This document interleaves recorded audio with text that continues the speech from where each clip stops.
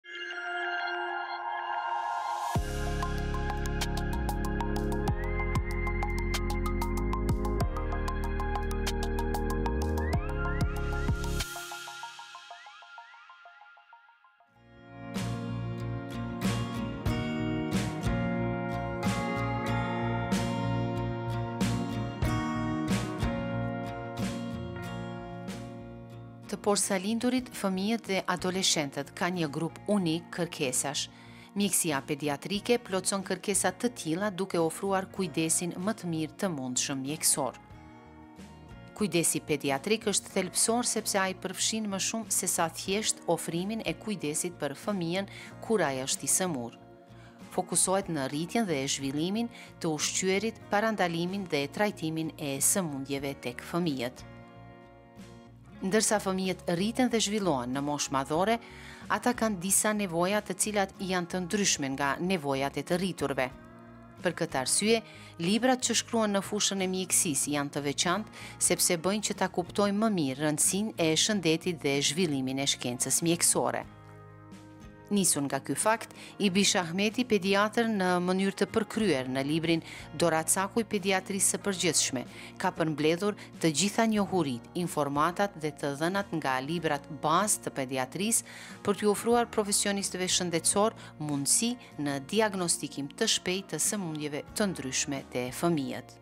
Gjenerata ime ka qenë e etur për literaturë në gjuhën shqipe. Dhe me thënë shumicën e literaturës e kemi pas në gjuhën serbokroate, atëherë nuk ka pas as rrjete sociale për me sigurue të dhëna, informata, në gjuhë të huja, si kena njoftë, edhe një libër në gjuhën shqipe që ka ardh nga Tirana, ose një skript e botume prej profesorëve tanë në gjuhën shqipe, është është përpi, qysh me thonë. Edhe kjo m'ka shty që ta nxjerr një libër që është një përmbledhje, është një, një formë e shkurtume, një thelbi i pediatrisë, që që ju ndihmon edhe studentve, edhe mjekve të përgjithshëm, mjekve familjarë, po edhe specializant e specialistë t'pediatrisë, sepse është një, një rifreskim, një rikujtim n'pika t'shkurta. Dhe ma nuk kanë nevojë të hulumtojnë gjithë literaturën, sepse ata veç e kanë E kanë mësu një herë, që nuk ka diçka jashtë asaj, por është një, një formë e gjetjes ma shpejt. Në këtë moment unik dua të theksoj si profesioniste shëndetësore dhe njëkohësisht drejtoreshë e Klinikës së Pediatrisë rëndësinë e veçantë në zhvillimin e dijes dhe avansimin e njohurive profesionale nga hulumtimet dhe publikimet e vazhdueshme. Librat janë shumë më shumë se thjesht faqe të shkruara dhe fjalë të punuara. Ato janë mjete që na ndihmojnë të rritemi dhe të zgjerojmë dijen tonë në fushën që e kemi zgjedhur për t'u angazhuar. Doracak i Pediatrisë së Përgjithshme është një vepër e veçantë që sjell në vëmendje sfida, sfidat dhe përparimet në fushën e pediatrisë.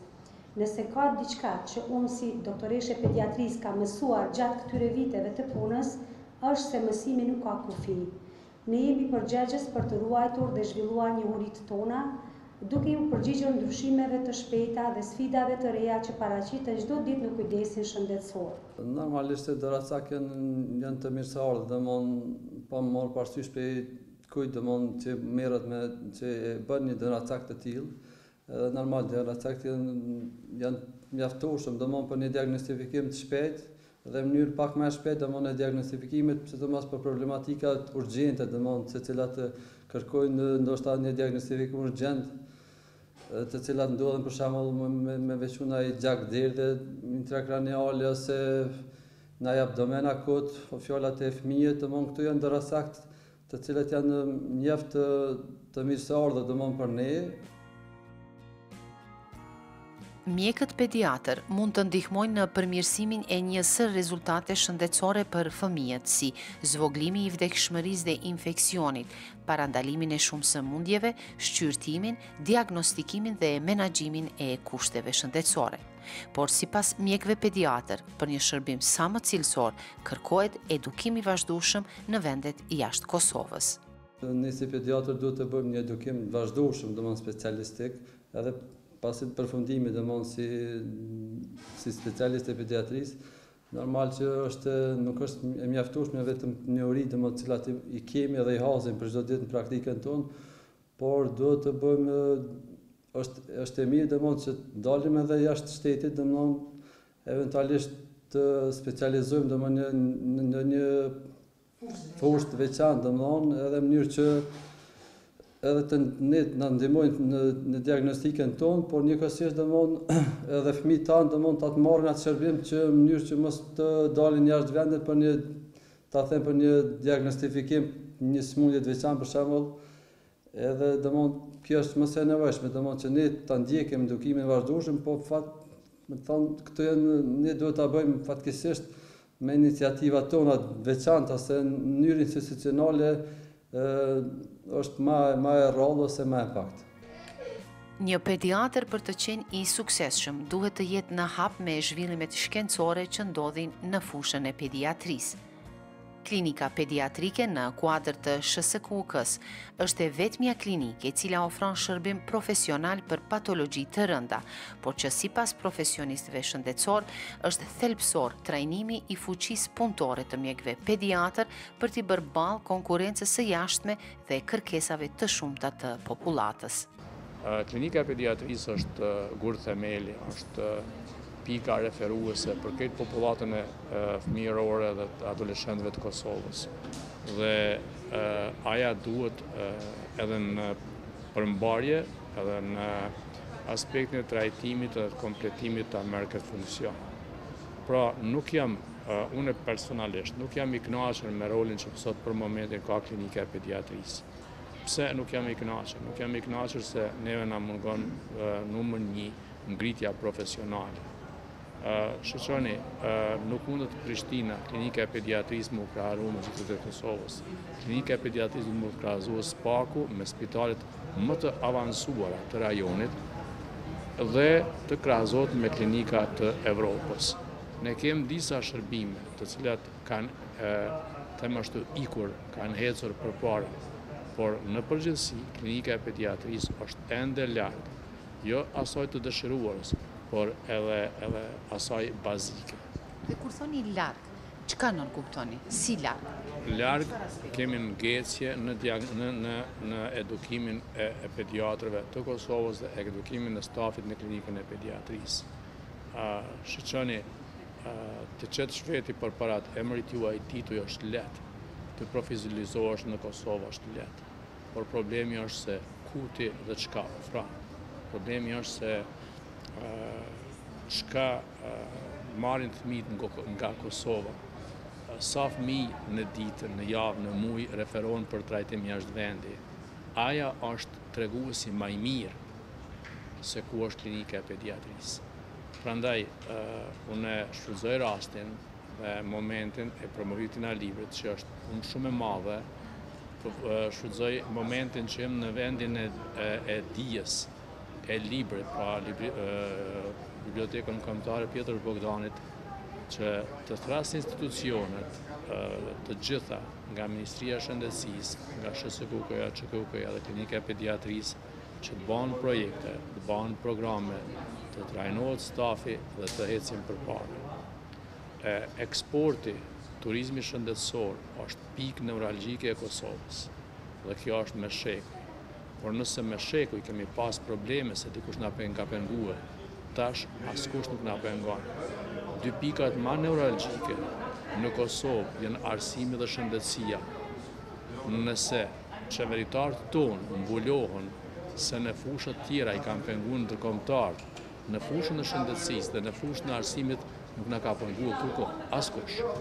Dhe dy pikat ku jemi ma të dobtit manifestojnë dhe reflektojnë punën tonë ose papunën tonë. A do të thotë se kjo mungesa e edukimit të mirëfilltë të stafit të profesionistëve shëndetësor ndoshta po ndikon edhe në ikjen e qytetarëve për diagnostikim në vende të tjera, sepse shpesh atje kërkohet kjo. Do të thotë Mendoni se kjo është ajo kyçja në këtë aspekt? Është pjesë e sajna. Në atë aspekt, ajo është një program, një problematikë shumë, them, shumë përbërëse shumë aspekte, kurse njëri prej aspekteve është edhe ofrimi i arsimit dhe ofrimi i shërbimeve shëndetësore. Prandaj, nëse Prindërit sot të ri, të ri nuk shohin një perspektivë për fëmijët e tyne për shërbime shëndetësore në Kosovë, atëherë normalisht është që ata do të kërkojnë diçka jashtë Kosovë. Por, prapë them, kjo nuk bahet për një ditë, nuk bahet për një muj, kjo bahet me vite. por duhet të kemi strategji të zhvillimit të shëndetësisë në nivelin terciar dhe sekondar. Të strategji të cilat nuk mund të ndryshohen se ndryshon politika. Ato duhet të jenë udhërrëfyes të cilët politika veç munet t'i vazhdojnë, e jo t'i ndryshojnë. Por ne nuk i kemi bërë, kështu që ne jemi Prapë po përsëriti, jemi larg. Kemi kohë prapë të kapim sende, por besoni, nga pikëpamja ime, unë mendoj se jemi vonë. Por më mirë sot se nesër. Ky libër, u pa që është një doracak prej lindjes, zhvillimit dhe rritjes së fëmisë. Dhe mendoni se në këtë rrugëtim, ne jemi duke e ofruar atë shërbim çfarë kërkojnë qytetarët tanë në rritjen e fëmijëve të tyne? Nuk mendoj. Ne jemi tu ofruar uh, shërbime. Jemi shumë ma mirë se ç'jemi 99-ën. A a duhet të krahazohemi me 99-ën. Ne duhet të krahazohemi me shtetet e zhvilluara të Evropës, jemi pjesë e Evropës. Dhe s'i kemi mundësitë e Evropës. Ne askush nuk na nal në zhvillimin e specialiteteve. Ne askush nuk na nal në dërgimin e mjekëve të rinj në trajnim në edukim në shkollim. Sa mjekë janë shkuar vjet pediatër në edukim jashtë Kosovës, lëni workshopet, lëni kongreset, në edukim mbi gjashtë muaj, asnjë. Qysh mendoni me ba shkencë në Kosovë pa edukim, duhet të qëndroni një, dy, tre vjet, katër vjet jashtë. Normal, duhet të keni interes për me shku jashtë dhe duhet të keni përkrahje institucionale nga shteti për shkuar jashtë. Dhe e fundit, kur të ktheheni, të merrni respektin dhe meritën që keni bërë jashtë. Doktor, ajo që shifet që është mungesa i përket ofrimit të shërbimit shëndetësor, sidomos kur kemi të bëjmë me fëmijë, është këshillimi nga ana e profesionistëve shëndetësor. Dhe pse mungojnë këto këshilla? Ne me qëllim për shkak se dikush ka dashtë dhe sot edhe ma tepër po e kemi shkatrua shërbimin pediatrik në nivelin paror. e kemi shkatruar dhe jemi duke e shkatruar dhe me ligjin e shëndetësisë, në nivelin paror ma nuk ka pediatër dhe unë thash krejt nuk mund të merret askush me fmi përpos pediatrit vetëm ata e njohin fmin dhe vetëm ata mund të bisedojnë me fmi A do të thotë që shkëputja e këtij zinxhiri, domethënë kjo Mungesë e kësaj këshille ndoshta elementare, shumë e thjeshtë, mund të çojë te një problem që ndoshta nuk do të duhej të ekzistonte më vonë. Shiqoni, unë për mua kjo është duke çuar në problem, për shkak se ne, ajo është një pjesë organizative e cila meriton them ashtu diskutime të gjata në fusha të tjera që unë sot nuk kisha pas qef ti shfrytëzoj. Mendoj se aja duhet të jetë temë e paneleve, diskutimeve, konfrontimeve, pjesë e krahazimit të sistemeve shteteve të rajonit dhe shteteve evropiane, sa une e di, ne kemi pranuar sistemin britanik, i cili në krejt Evropën është njohur si ma i keqi, ma i keqi, ashtu që sistemi shëndetësor, kur ne kemi humbur specialitetet në nivelin paror, kemi hup gjinekologun, kemi hup internistin, kemi hup pediatrin, kemi hup radiologun, kemi hup shumë shërbime të cilat okulistin, otorinolaringologun dhe krejt ato i kemi gjujt në nivelin sekundar në spitale rajonale, kurse në Prishtinë i kemi gjujt në qendrën klinike universitare, Dhe tash klinikat në vend se të merren me nivele profesionale, ata merren prej asaj bazikës deri te niveli terciar, ashtu që një profesor universitar në klinikën pediatrike, njëkohësisht ka një fëmijë që ka një sekrecion prej hundës dhe një temperaturë, dhe njëkohësisht ka një fëmijë që duhet të shpenzojë orë e orë. Por ajo është pjesë prapë po them që nuk mund të rregullohet me një bisedë me mua, këtu në televizion, por është pjesë e diskutimeve të gjëra, të gjëra mendoj se Kosova ka Ministria e Shëndetësisë. Ky është mendimi jem, nuk don me thanë që është i saktë, unë veç publikisht, po them mendimin tem, mendoj se nuk është në rregull, sistemi pediatrik, shërbimi, më falni, shërbimi pediatrik duhet të zhvillohet si unit, si pjesë që fillon nga paralindja, lindja, pas lindjes, rritja dhe zhvillimi, përcjellja, Edukimi, këshillat të jenë pjesë e programit specialistik pediatrik dhe asnjë fushë tjetër. Asnjë fushë tjetër. Pesë vjet specializim në pediatri dhe nuk janë të mjaftueshme për të marrë njohuri të mjaftueshme për të përcjellë një fëmijë nga ngjizja deri te mosha tetëmbëdhjetë vjeçare. Prandaj kemi krijuar subspecialitete për shkak se është një problematikë specifike. Nuk mund të krahasoni pediatrinë me asnjë shërbim tjetër, për shkak se pediatria në vete përmban të gjitha shërbimet e tjera. Është punë specifike, është punë është punë, është kremi, është maza e mjekësisë. Duke filluar nga neonatologjia që është ajka e pediatrisë dhe dhe pediatria që është ajka e mjekësisë. Doktor, dhe cilat ndoshta janë ato shërbimet aktuale të domosdoshme sa i përket shërbimit të pediatrisë që i duhen Kosovës dhe duhet të funksionalizohen sa më shpejt? Shiqoni, unë për shkak vendit punës teme, për shkak shërbimeve që ofroj dhe në pediatri, ma shumë t'i fokusohem në nivelin terciar, pra në klinikën e pediatrisë dhe klinikën e kirurgjisë fmijve. Unë ata i kam të gjithë shokë, miq, bashkëpunoj çdo ditë, konfrontohemi, bisedojmë, ballafaqohemi me realitet dhe unë haptas, si thashë, tha, tha mendimin tem, që ne të gjithë në ato dy institucione kemi mërri një nivel i cili është mesatar. Neve tash na nevojitet një fuqi shtytëse e cila neve nga ajo mesatarja na gjuan në hapsira të themi ashtu ma t'larta dhe marrim nivelet evropiane. Prandaj, Zhvillimi i shërbimeve të reja është i domosdoshëm. Ne nuk mund të bazojmë, po flas për kardiologjinë pediatrike, të jesim në një EKG, në një eko, në një Holter. Ne na vyen salla kateterizimit. Që katër vite hapësira në klinikën e re për sallë kateterizimit rrin zbrazët. Dhe na dërgojmë fëmijë e fëmijë jashtë ose thërrasim misione dhe misione mrena dhe trajtojmë fëmijë, a salla kateterizimit kushton katërqind mijë euro Një profesionist dhe ne mund të bëhemi qendra referente në rajon për trajtimin e fëmijës me me procedura të kardiologjisë invazive. Kardiokirurgjia pediatrike, ne shpenzojmë çdo vit miliona euro në në dërgimin e fëmijëve jashtë, fatmirësisht duke shfrytëzuar lidhjet e mia personale dhe lidhjet e Klinikës Pediatrike në përgjithësi, me misione humanitare, ne trajtojmë misione dhe trajtojmë fëmijë. Ama pyetja ime është, a mas njëzet e katër viteve nuk kemi lodhë mo me misione? Ose, mas katërdhjetë e tetë misioneve mas lufte që une i kom udhëhequr në Klinikën e Pediatrisë nuk kemi lodhë mo a? A kemi ende nevojë dikush na sjell peshkun për drekë dhe ne s'mësohemi të zamë peshkun vetë? Dhe çka është ma e keqja, kur vijnë ata nga jashtë na thojnë, po ju nuk po dini me zanë peshkun, ne po jua bimë. për shka, për shkak se vetëm, vetëm për një arsye, se mungon, mungon vullneti politik dhe mungon vullneti profesional që ne zhvillojmë shërbimin e kardiokirurgjisë, dhe na zhvillojmë shërbimin e kardiologjisë intervente dhe të bëmi qendrë referente në rajon. Ose, diagnostikimi prenatal, ne në, në QKUK ende nuk e bëjmë një amniocentezë, të cilën e bëjnë ordinancat private.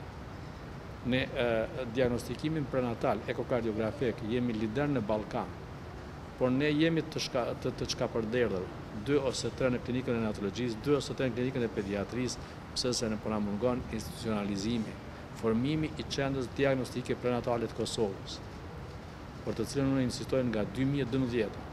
Prandaj duhet institucionalizimi, zhvillimi institucional. Marrja e formimi i institucioneve, krijimi i kuadrave të cilat ballafaqohen me problematikë dhe bëhen import i pacientëve nga rajoni. Derisa Kosova çon pacienta jashtë, na jemi minus. Në momentin kur ne të vijnë pacientët nga jashtë në Kosovës, ne jemi pozitiv. Dhe ne në gishtat e një dore mund t'i njehim pacientat që për një vit vijnë nga jashtë në Kosovë për t'u trajtuar ose për t'u kuruar. Kjo është parametri ma i mirë që të tregon që nuk jemi mirë. Mjekët që punojnë me fëmijët kujdesen për më shumë se sa thjesht shëndetin fizik dhe përparimin e pacientëve të tyre. Andaj, ky sektor i kujdesit shëndetësor publik ka nevojë për strategji organizative dhe të harmonizuara që përfshijnë mbështetjen e institucioneve përkatëse shëndetësore, për të kapërcyer këto sfida me të vetmin qëllim ofrimin e kujdesit të mirëfilltë mjekësor për kategorinë më të ndjeshme, fëmijët.